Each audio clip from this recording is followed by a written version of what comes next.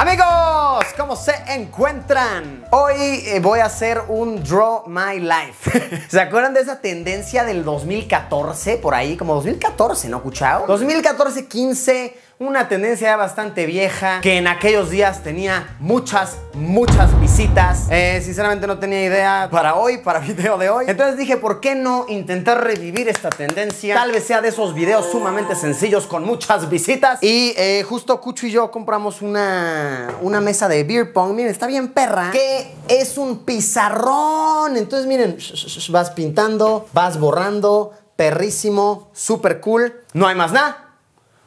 Vamos a darle. ¿Qué pasa, cracks? El día de hoy les presento mi Draw My Life.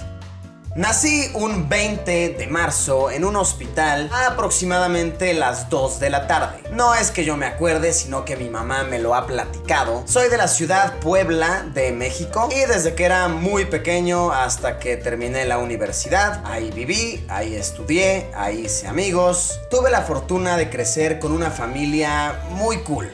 De verdad, no pude haber pedido una familia mejor. Y somos una familia pequeña, pero muy unida. Mi mamá, que es una maestra. Mi papá, que se dedica a la sastrería. Y mi hermano, que es muy parecido a mí, pero es como mi versión superpoderosa. Mucho más alto que yo. Y mucho, mucho más musculoso. Crecí con mucho amor, mucho apoyo y aunque económicamente nunca nos sobró nada, el apoyo y cariño desbordaba por las paredes.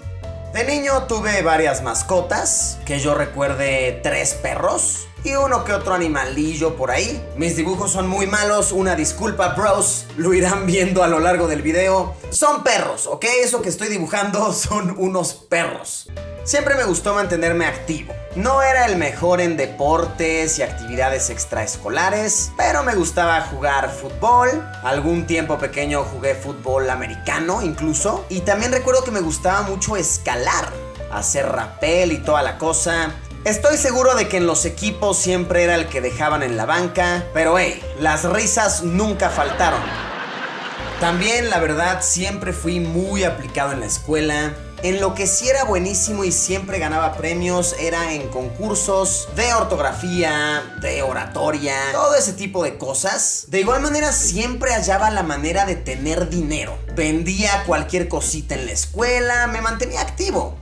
Estaba en la escolta de, mi escuela, de verdad yo era de esos. Era un auténtico ñoñazo y siempre fui muy comelón. Mi comida preferida posiblemente era la pizza. Sí, esa, esa cosa es una pizza, ¿ok? les digo, no sé dibujar, mis bros. Mi primera experiencia con la muerte, perdiendo a alguien valioso, fue a mi maestra Lupita, la Miss Lupita Falleció cuando yo tendría unos 9 años y me puse muy triste. Pero es un suceso que recuerdo mucho porque fue la primera vez que comprendí cómo en este mundo alguien está y de repente ya no más. Y no nos quedan más que sus enseñanzas y palabras. Ella siempre me incitaba a seguir haciendo lo que hago.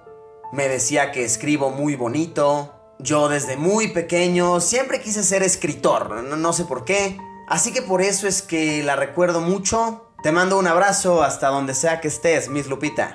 Siempre me gustó la música rock, pero tal vez mi disco preferido de todos los tiempos es uno de Cártel de Santa, que escuchaba desde que era muy muy pequeño. Me lo sé de memoria Ah, y si ya estamos hablando de música, también algún tiempito toqué el piano. De hecho, mi primer canal de YouTube se llamaba Piano para gente cool, porque cielo santo, vaya que soy demasiado cool. Mi primer trabajo en la vida fue ayudando a mi abuelo en su sastrería. Yo iba, le ayudaba con ciertas cositas básicas, haciendo la ropa y demás y él a cambio me daba un dinerito. También un tiempo, un buen tiempo, trabajé como profesor de preparatoria, de inglés y demás materias. En alguna otra ocasión les contaré esa historia más detallada. Y también un tiempo trabajé en Estados Unidos, en un campamento para niños. Esa vez, de hecho, fue mi primera vez viajando solo. Primera vez que marcaría un antes y un después en mi vida, sin duda. Todo normal en mis años escolares, les digo que yo era un muchacho bastante aplicado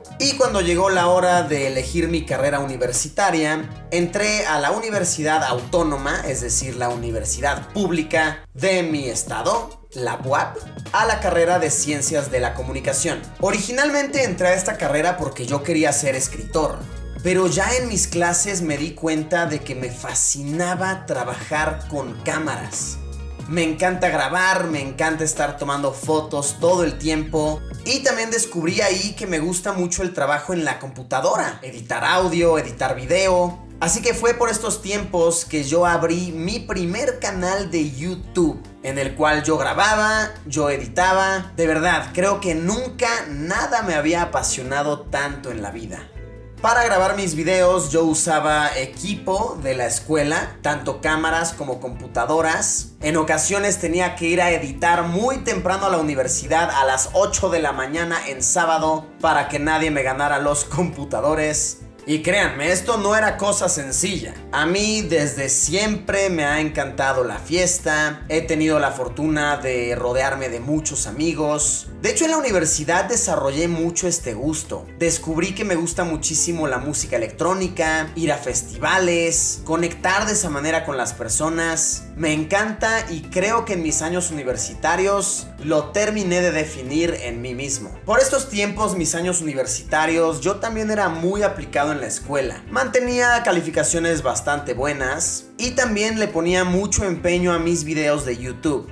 Hacía entrevistas en la calle con ayuda de mi amigo Yayo, con quien de hecho trabajo hasta la fecha. Yayo es quien está editando este video. Así que les digo algo, los años universitarios me traen recuerdos bonitos de haber conocido a las personas indicadas para hacer cosas que yo considero muy cool y muy divertidas en la vida. Ah, por cierto, también por estas fechas en mis años universitarios es que llegué a más de 100 mil seguidores. Que ahorita igual y no es tanto, pero en esos años ya era una buena y grata cantidad. Eventualmente terminé mis estudios universitarios y uno pensaría que serían tiempos de mucha celebración, mucha felicidad, sentirme más que pleno conmigo mismo, pero no era así. Me sentía un poco triste, un poco estancado, no sabía bien qué era lo que quería de mi vida y eso me desanimaba. Solamente sabía que tenía que hacer un cambio radical en mí para sentirme completo, para sentirme feliz. Pues resulta que por estos años yo estaba viajando mucho de la ciudad de Puebla a la ciudad de México, que quedan relativamente cerca. Y en verdad,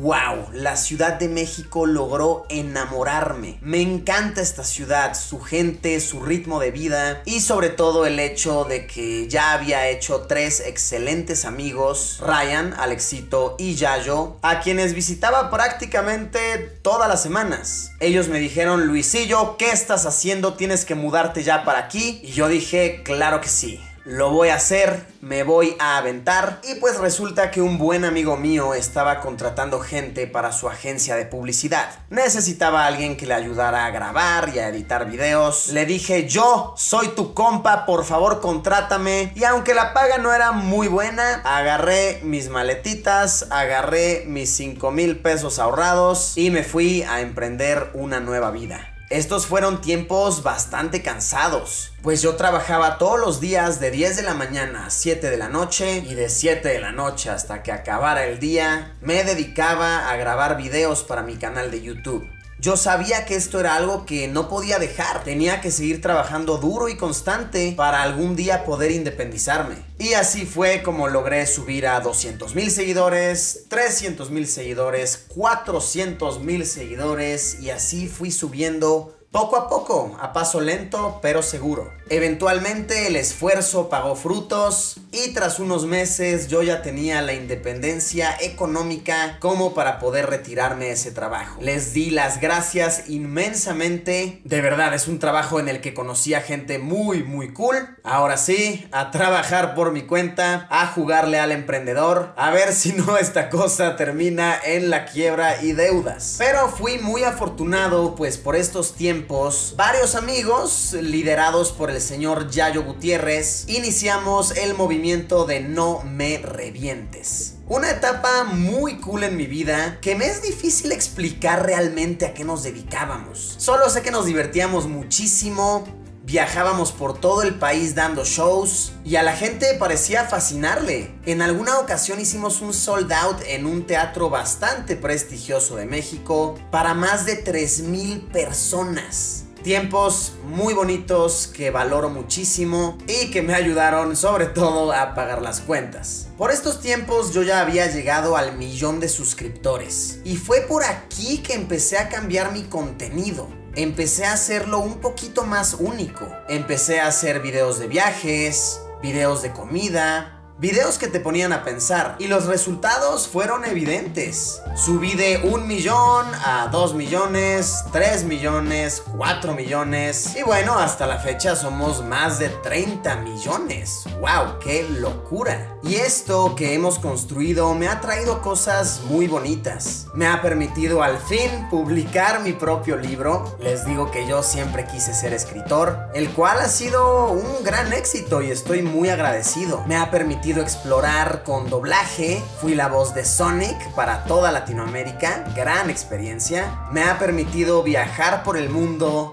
lo cual me apasiona muchísimo. Y aunque ahorita no podamos hacerlo, espero pronto poder seguir conociendo más y más países. Pero sobre todo me ha traído mucho amor, me ha traído mucho trabajo. Ah, y también inicié una marca de ropa. Es chistoso, yo siempre le dije a mi papá que a mí no me encantaba mucho su rubro de trabajo. Y quien lo diría, de cierta manera nos dedicamos a lo mismo. Actualmente estoy muy contento con lo que he hecho. Siento que he tomado las decisiones correctas y sobre todo tengo una mejor perspectiva de la vida, en la que entiendo que a veces estamos abajo y a veces estamos arriba. La vida es como una montaña rusa. A veces nos sentimos muy alto, a veces sentimos que todo va de picada, a veces es emocionante, a veces incluso nos da miedo. Pero he aprendido que nunca debemos temerle a tomar nuevas y diferentes decisiones. También he reflexionado que uno no siempre tiene que estar creciendo para arriba. Uno también puede crecer hacia los lados. El éxito no es un camino vertical, sino horizontal.